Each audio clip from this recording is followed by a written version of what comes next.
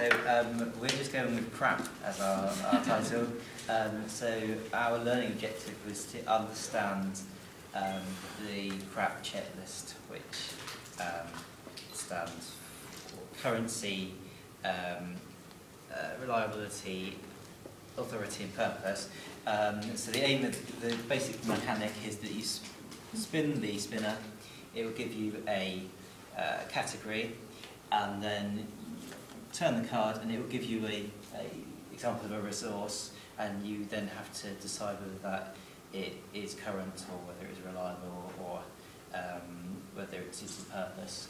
Um, so we were kind of discussing for quite a long time about what we should have on the cards. Um, so we went back with just having a resource. Um, thought perhaps we'd play the game in teams and then uh, the discussion process of whether that resource was current or authoritative um, was more important than the necessarily than the answer. And if you have a librarian kind of overseeing the game, they can decide whether you keep that, that card or not. And then the aim of the game is to, to collect crap. And once you've collected the crap, um, that's the uh, end of the game. You've won, essentially. Thank you.